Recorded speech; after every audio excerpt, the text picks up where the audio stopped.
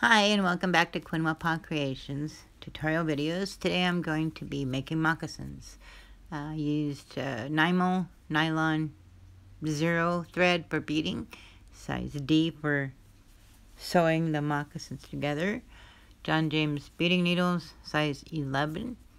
The pattern I have is um, made for size 11 seed beads and I have a hide that I bought is German tanned, very soft leather, easy to sew. I drew the footprint on sketch pad paper, measured my arch, the arch of my foot, and then total arch, and fold the, but cut the footprint out, fold it in half, and measure that, give that total arch measurement that I had, mark that off, and use that point and use the measurement I had across the arch. The same amount on each side. And then I draw from toe to the point on each side. And then straight down. And that makes the top of my moccasin Mm-hmm. straight across the bottom and that's the top and I straighten out the lines because I don't draw straight lines very well and I'm going to have to cut it out so then I go toe to the arch measurement and that's where I do a three inch line and then a, draw the line straight down and then take those tops, trace them on the leather, and then both beat, turning the pattern over. I cut it out and I cut a quarter inch all the way around. That's your seam, sewing seam. I cut a two inch strip that will go around my ankle and be the fringe. And then that's all you need to you have the footprint, the tops, the strips, and the two tongue pieces. And you're ready to make them. You'll cut a quarter inch strip that goes all the way around. That That's a strip you'll sew in between the top and bottom. Seam reinforcement. And you'll have strings that will go around, will be your ties. I'm going to put the pattern on to the leather and I use a pencil and mark those points the three points on there and then one on the bottom. And I'm going to draw the lines right onto the leather using my pencil. I use a mechanical pencil um, because it the pencil mark will fade as I'm beading and sewing and you won't see it. You won't see it later. Um, it's better for me than using a pen or any dark color because mm, you can still see it and it fades. And then I will um, draw my area that I'm going to be beading on about a quarter of an inch in from the edge. That's the area that I will be doing my beadwork on. I'm About a quarter of an inch up from that line, the tongue line, and a quarter of an inch all the way around. That's the same. And the pattern that I use was made for seed beads, and I'm going to be doing lazy stitch.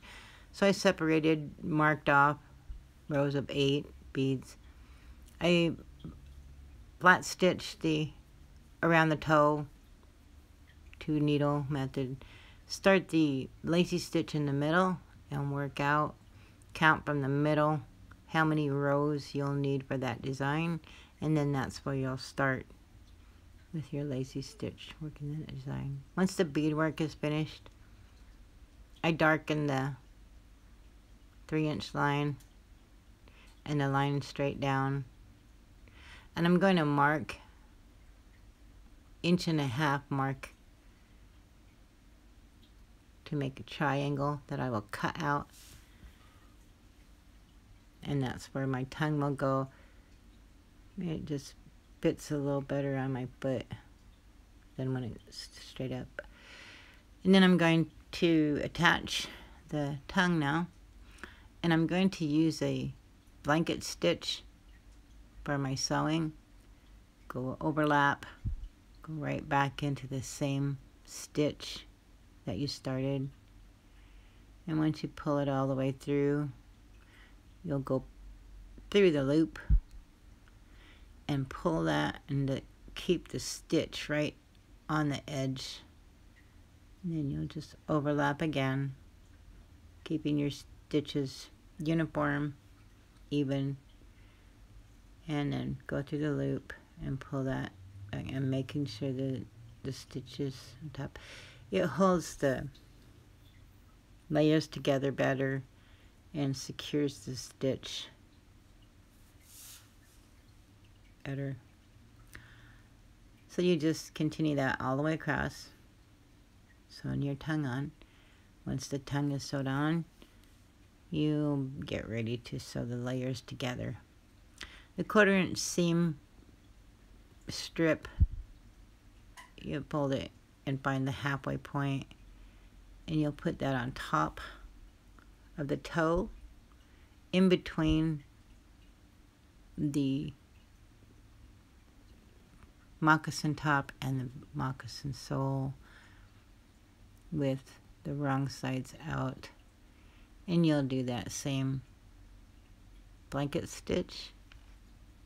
Your first stitch just goes over and goes right into the same holes that you used came through.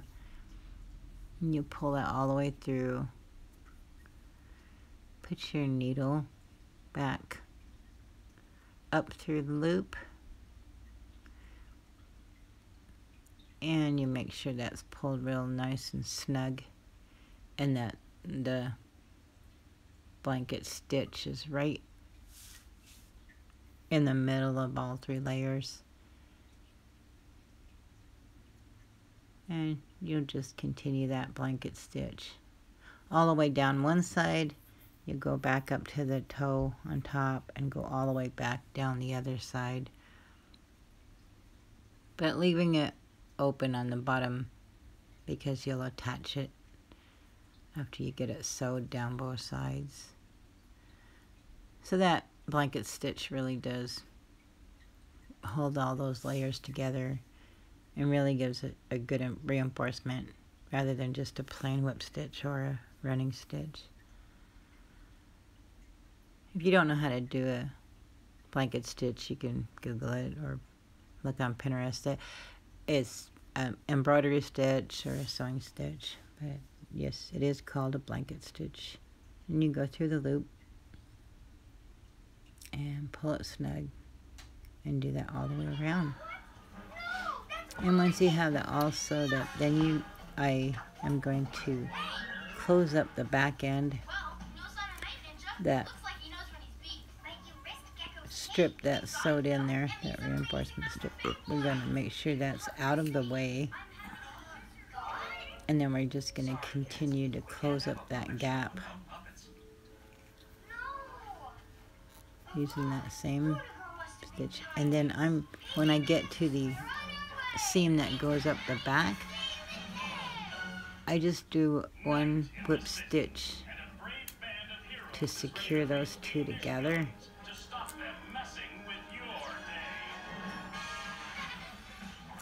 And then continue on closing up that gap. It's just kind of a stitch I reinforced the heel with Greg continuing gecko. That blanket stitch to close up that hole. And that's the heel. And then I would go back, once the hole's closed up, I would go back to where the seam is up the back side of the moccasin. Not tying a knot just kind of continuing on with the same string so that you don't have knots or and then the last stitch you go through the loop and then the way you went through the loop you're going to just go overlap the other way and make that stitch so that the blanket stitch is still on top of the seam and then I'll just do that blanket stitch all the way up. And that's just one running thread without knots and stop and go. And I just continue that up the back side. And then I uh, turn it right side out when it's all done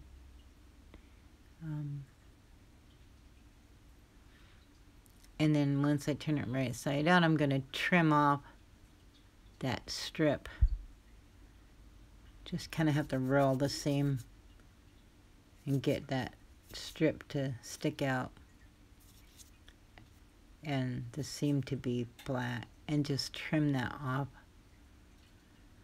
as best you can close to the moccasin all the way around.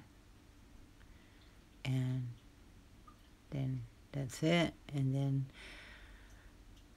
I take this strip the two inch strip that I cut and I put it on the inside of the moccasin and I'm going to blanket stitch that all the way around.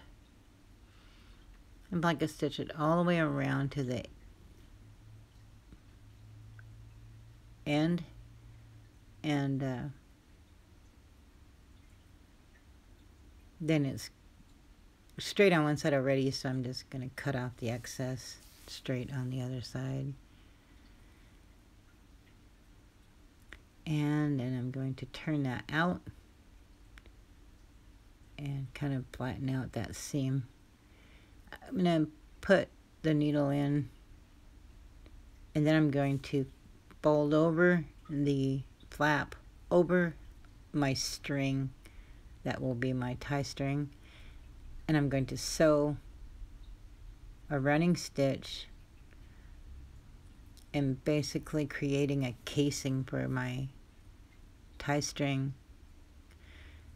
Having my tie string all the way around through that ankle part can makes it more snug when I tie it on because you can pull it snug around your ankle rather than just putting strips tight on the end.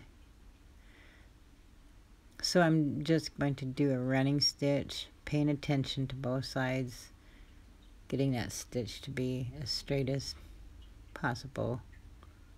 I'm not real good at getting perfect, but just paying attention to both sides as you're running your needle through. And being sure you're not catching the string itself, it's inside that casing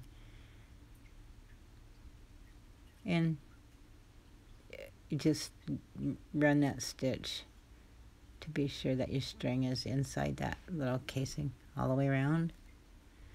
And then you're going to get a real good sharp pair of scissors and cut that fringe all the way around. Get it to the end and that is the moccasin Once you get that all done, you're going to pull the tongue up and pull the sides up. See where the string is coming across. And that's where you'll cut your slits that you'll run your string through. So that's kind of straightened up. And then cut four slits because you're going to go through two on one side and then two on the other.